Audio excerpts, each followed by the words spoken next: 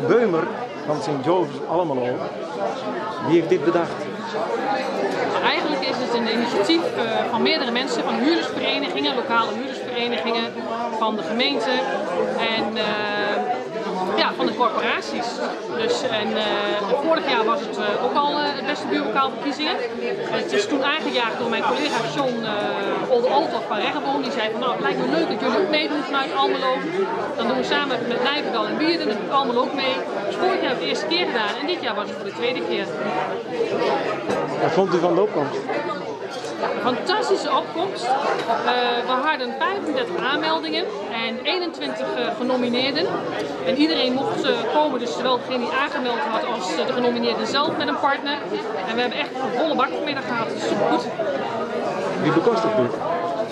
Wie dit bekostigt? Ja. We doen dit gezamenlijk en het, neemt niet, het brengt niet veel kosten met zich mee, want we gaan een kopje koffie en een kopje thee. En wat we daarvoor terugkrijgen is vele malen meer waard. En dat is die sociale cohesie. Het gaat ook niet om of dit huurders zijn of kopers zijn. Het gaat om de inwoner van Almelo. Daar worden mensen zo al op genomineerd. Nou, dat is ontzettend leuk, want het is heel divers.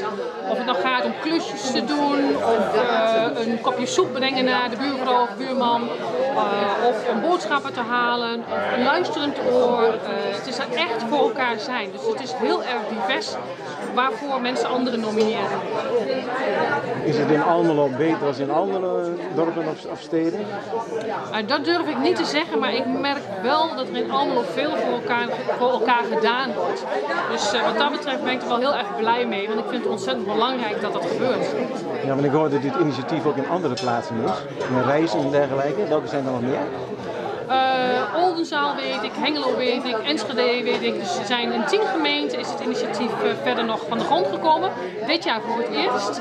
En vorig jaar dus uh, was alleen Nijverdal, Wierden en Almelo. Hebben dat van jullie afgekeken? Nou, niet afgekeken. Wij hebben ook zeg maar hen gevraagd, doe nou mee, kom op. en elkaar geïnspireerd. Want we zien gewoon wat voor spin-off dat het geeft. Ja. Geven jullie dan een heleboel werk of gaat het automatisch?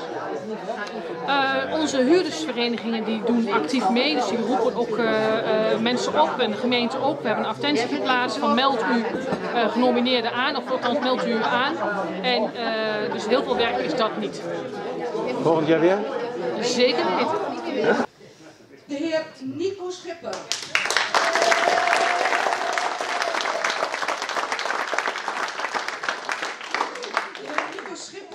Zijn straat een al onbekend persoon is die zich laat zien en horen.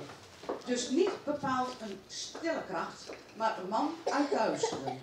Zijn naam staat erop, Nico Schipper, winnaar 2019 van de beste buurbokaal.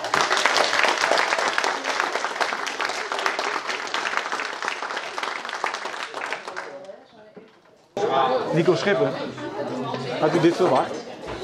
Nee, dit hadden we niet verwacht. Het was uh, totaal onverwachts. We hadden meegekregen dat, uh, dat hij wel voorgedragen was. En hij, uh, aangezien hij zelf nu in Israël zit met een rondreis, heeft hij ons gevraagd van nou, kunnen jullie dan daarbij aanwezig zijn? Willen jullie dat? Ja, natuurlijk willen we dat. Hè? Als hij had geweten dat hij zou winnen, was hij dan gebleven? dat, dat weet ik niet, maar dit, zal, dit is ongetwijfeld iets wat hij hartstikke leuk vindt en ook wel een, een kroon op zijn werk is. Ja.